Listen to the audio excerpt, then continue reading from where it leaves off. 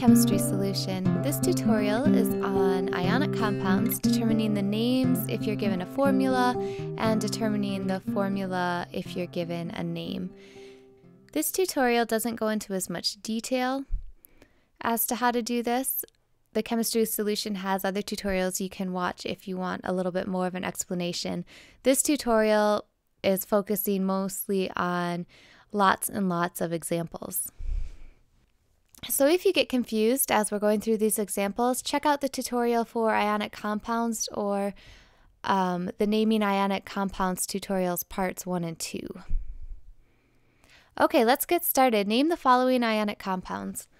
Remember when you're naming ionic compounds, the number of ions in the formula doesn't matter, just the identity of your cation and your anion. So when we name this first one, NaCl, you name the cation, it keeps its name, sodium, and you name the anion, changing the ending to "-ide". So sodium chloride would be the name of this first compound.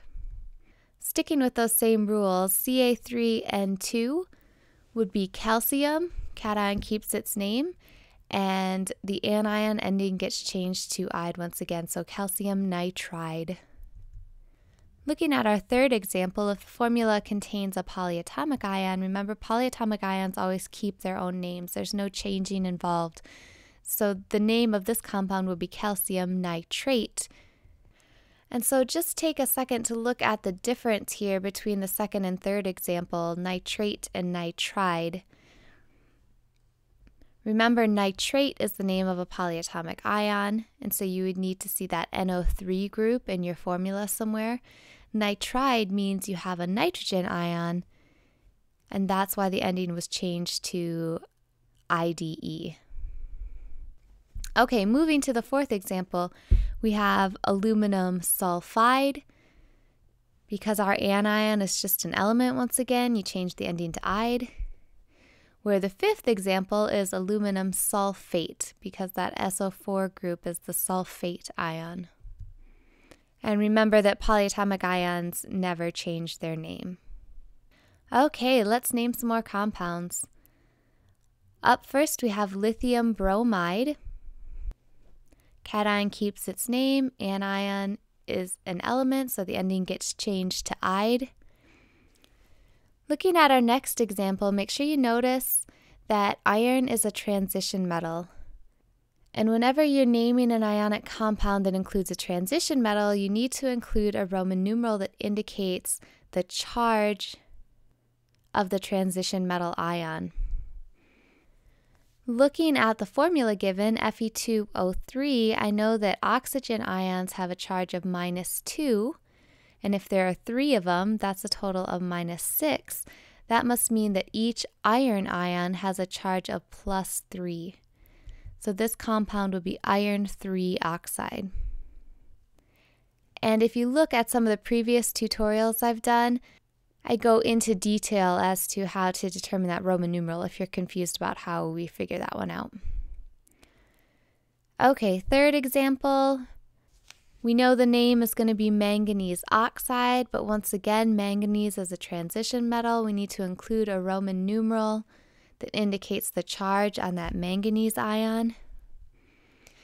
Now we know that oxygen forms ions with a charge of minus 2, and we have two of them. So to offset that negative charge, the manganese ion must have a charge of plus 4. So we would name this compound manganese 4 oxide. Fourth example, we see copper, which is another transition metal. So again, we need to determine the charge on that copper ion. Now remember, the reason that we do this is because a lot of these transition metals can exist as ions with different charges. So we need to indicate specifically which ion we're talking about. In this case, we know that chlorine forms ions with a charge of minus 1, and we have two chlorine ions in this compound. That must mean that copper in this formula has a charge of plus 2. So the name of this compound would be copper 2 chloride.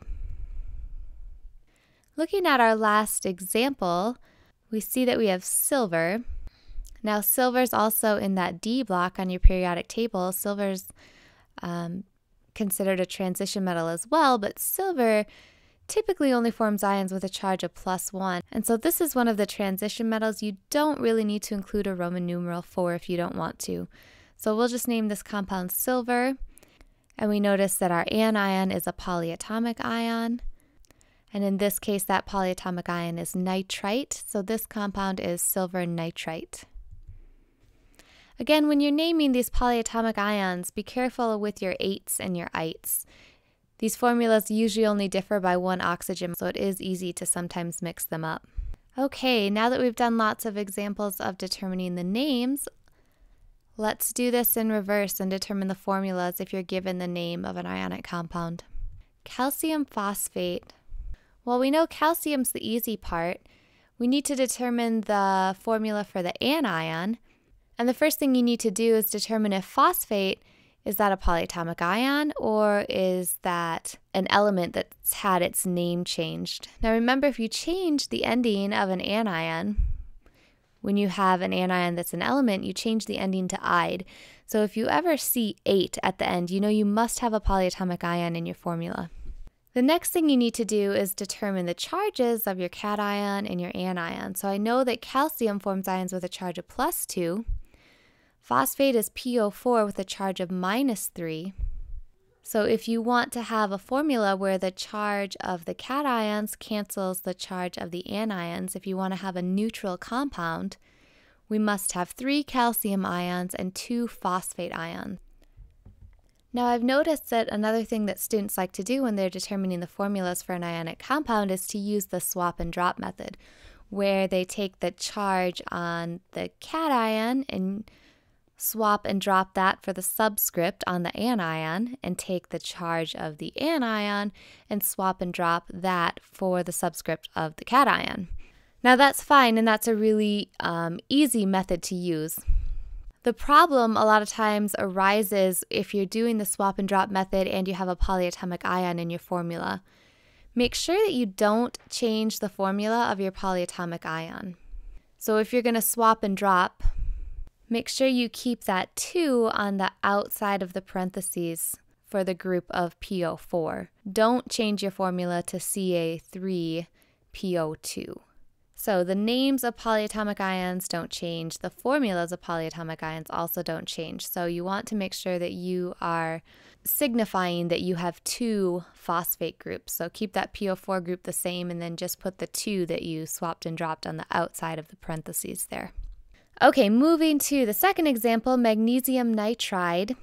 There are a few polyatomic ions that end in "ide," but nitride is not one of them. That means that your anion in this case must be nitrogen, the element. Now we know that magnesium forms ions with a charge of plus 2 and nitrogen forms ions with a charge of minus 3. So if you swap and drop those charges and put them as subscripts, you should come up with the formula Mg3N2. Okay, third example, iron 2 oxide. Determining formulas from the names of ionic compounds that contain transition metals is actually really nice because the charge of the cation is given to you right in the name. So I know that iron 2 oxide means that iron in this compound, the iron ion has a charge of plus 2. Oxide is not a polyatomic ion. Oxide is oxygen, where the ending's been changed to "ide." So the oxygen ion is your anion. Oxygen forms ions with a charge of minus 2, so if iron is plus 2 and oxygen is minus 2, the charges on those ions will cancel each other out, so your formula would be FeO. Now here's another example where you want to be careful if you're using the swap and drop method. Remember for our ionic compounds, we always write them in their empirical formulas or their lowest ratio formulas. So if you just swapped and dropped these charges, you would get Fe2O2. That's not technically correct because we want to write the formula in its lowest ratio. So if you have the same charge on your cation as you do on your anion, then you can just assume that those charges will cancel each other out. You'll get a neutral compound with just one of each of your ions. Fourth example, beryllium chloride. Beryllium forms ions with a charge of plus 2. Chloride is not a polyatomic ion, so I know that chlorine forms ions with a charge of minus 1. You should come up with the formula BeCl2. And potassium chlorate Again, notice the difference between chloride and chlorate. Chloride is talking about the chlorine ion. Chlorate is a polyatomic ion. So potassium forms ions with a charge of plus 1. Chlorate is ClO3 with a charge of minus 1.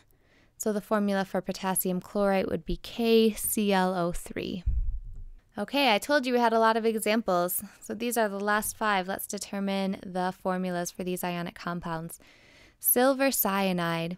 Most of the time you will not see a Roman numeral indicating the charge on a silver ion because silver forms ions with a charge of plus one. This is one that you can't really determine from looking at the periodic table, so this is one you just need to remember. Silver is plus one. Cyanide, this is one of the few polyatomic ions that end with ide. This is another helpful one to kind of keep in the back of your mind. Remember, cyanide is a polyatomic ion. So silver cyanide, silver forms ions with a charge of plus 1. Cyanide has a formula of CN with a charge of minus 1. So the formula for this compound would be AgCN. Zinc oxide. Zinc is another metal in that transition metal block, but zinc typically forms ions with a charge of plus 2. So again, you don't normally see a Roman numeral written in the formula for a compound that contains zinc. Oxide tells us that our anion is oxygen. Knowing that zinc forms ions with a charge of plus 2 and oxygen forms ions with a charge of minus 2, that positive and negative charge from the cation and anion will cancel each other out, so your formula is ZnO. Iron 3 bromide.